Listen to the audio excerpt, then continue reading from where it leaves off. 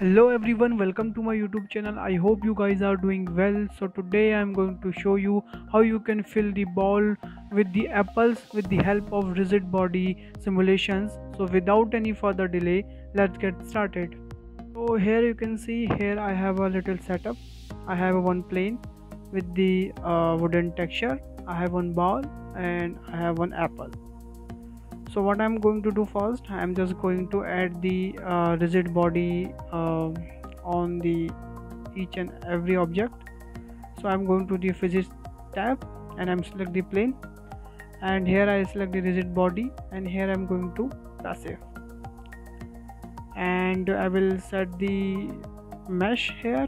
Friction is 1 margin is 0 and same thing i will do with that rigid body passive one and mesh and margin is zero.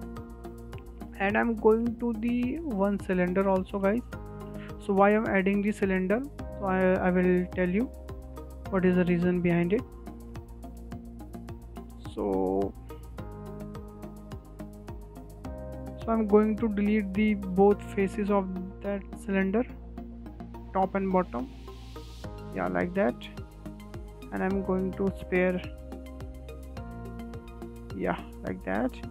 And I'm going to the uh, object property and here is a viewport display. I'm set the wire. And now we can see through easily that cylinder. And that cylinder I will add the same physics property uh, passive mesh and friction is 1 and margin is 0 uh, I will select my apple. I will uh, go to the top view. I will go to the rigid body again. And right now I will keep the active. And here I will set the mesh. And that friction is 1 and margin also 0 yeah every uh, object have a rigid body properties. I'm going to again the top view and I'm going to duplicate that apple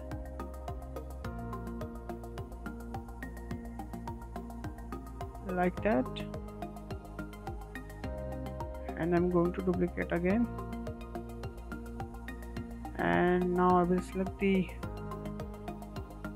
all of the apples and I will put the again. And shift R shift R like that.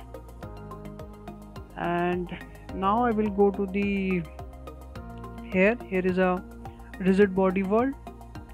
This is a scene properties exactly so here I will set the speed 2 this is a basically animation speed and I will set the steps per second 250 and iteration I will set the 225 and I will set the only 50 frame the end frame. And here I will also change the 50 and now I'm going to bake it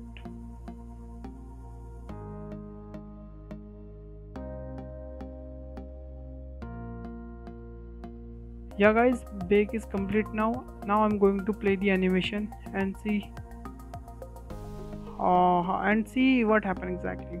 I'm going to play the animation.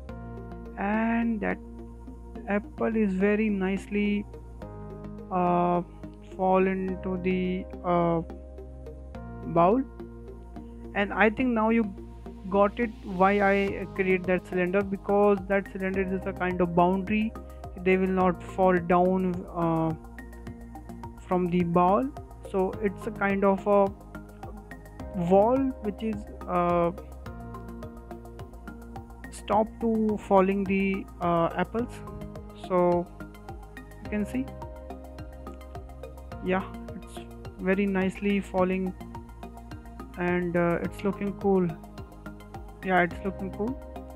And now you can uh, hide that cylinder and you can delete also. But I'm going to hide this cylinder and I'm going to take the render how it's looking exactly. So yeah it's looking perfect.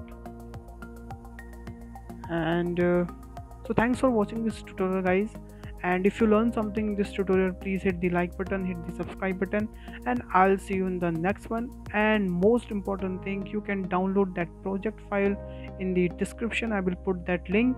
So bye bye take care and stay home guys